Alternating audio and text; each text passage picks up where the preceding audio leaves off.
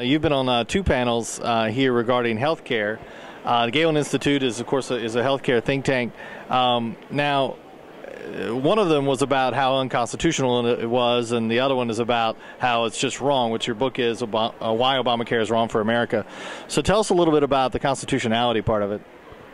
I, I started my talk yesterday to the to the main conference about about the many ways in which this law is unconstitutional. People keep talking mostly about the individual mandate. You know, that the federal government telling you that you have to use your private money to buy a private product is a Chevy Volt mandate next? I mean, that's really what the Supreme Court is considering. But there are so many other ways in which this law is unconstitutional.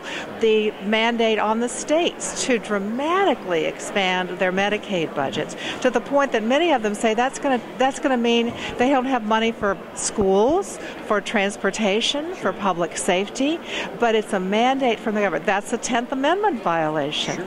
We see this new independent payment Payment Advisory Board. Right. 15 technocrats appointed by the president with no recourse to the voters that have control over hundreds of millions, hundreds of billions of dollars billions. in Medicaid, Medicare spending to basically ration care that's powers that the Constitution gave to Congress to appropriate money. Right. And then, of course, the religious liberty issue, which has just exploded over the last several weeks. Which has also been very prominent in this in the CPAC. That issue has been very spoken about a lot here. So, how does healthcare, the healthcare bill itself, um, you know, other than the contraception issue, are there other ways in which it violates civil liberties? Oh, absolutely. And I think that the, the, the Supreme Court can't help but hear this. I mean, the, the, the violation of the Constitution is in the very DNA of this law. I mean, it is, there's so many ways of, of our constitutional liberties, our, our, our rights are violated by this law, and it's because the, in the fabric of it, it's basically saying government knows best, not the people. The government's going to decide, make life and death decisions for you because these technocrats know better than we do what's good for us. The whole fiber of it is against the Constitution. And this, this religious liberty issue, it's about so much more than whether the Catholic Church is going to be required right. to provide contraceptive, abortifacient, sterilization under penalty of federal law. It's really about separation of church and state. It's mm-hmm. about it's about who's next. How do you feel like the, the bill itself hurts the poor uh, in the United States in general? That that's such an important point. I mean, this whole issue with the Catholic Church. One of the reasons that some Catholics and prominent Catholics supported it because they said, "Well, we're going to get to universal coverage." Well, we're not. First of all, 23 million people according to the best estimates, are still going to be uninsured. But even worse, we are expanding through Obamacare the worst health care program in the country. Medicaid, the program for lower income Americans, is a ghetto of a program. It pays doctors and hospitals so little right. that people have to go to emergency rooms to get their care and wait for six hours. Sure. We're now going to have 87 million people on that program. What's that going to do? It means that a lot of middle class people, middle income people, are going to be on Medicaid.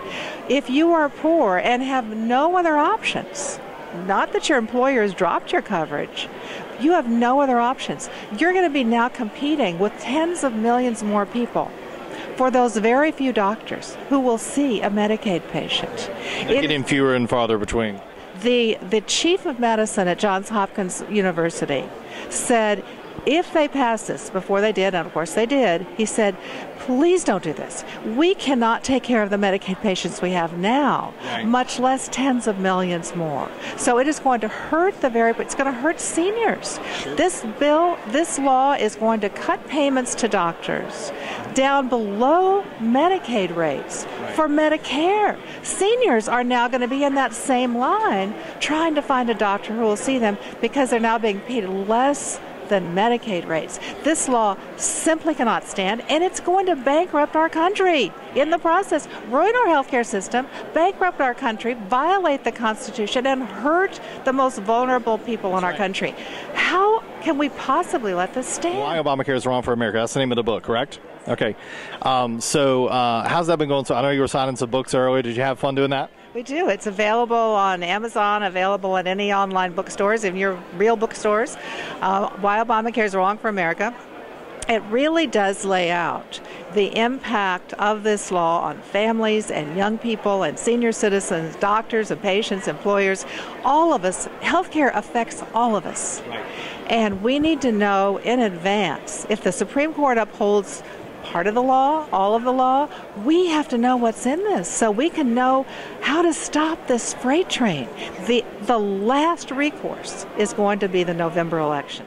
Uh, I know that the elections are important, but as far as just changing the message and and um, and and and trying to make sure that we move back in the right direction when it comes to health care, uh, what what can we do as as normal humans who don't you know have the power to run for Congress? We actually have a chapter in our book, What Can You Do to Stop Obamacare, with 15 different recommendations. So people need to buy the book to find out what that is. But the most important thing is for people to be uninformed, to really understand.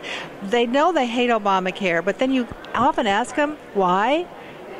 I don't really know. I just know I hate Obamacare. Well, find out why that is. We have a lot of top 10 lists of why you should hate this. $500 billion in cuts to Medicare, this new independent payment advisory board, the mandate to the states it's going to bankrupt, and the individual mandate, the employer mandate. Right. You know, you could just go on and on and on. You need to be able to talk with your friends, write letters to the editor, call into talk shows, talk to your local business groups and, and, community groups, inform other people so that they don't get lulled into thinking, oh, maybe it wasn't so bad. Right. This is a terrible law that will change our country. It must be stopped. No questions. It's a great way to end it. Thanks so much. I heard an amen. Can I get an amen? Thanks so much. Really enjoyed having you. Always a pleasure. We're here at CPAC, amconnation.com. Grace Marie Turner, why Obamacare is wrong for America.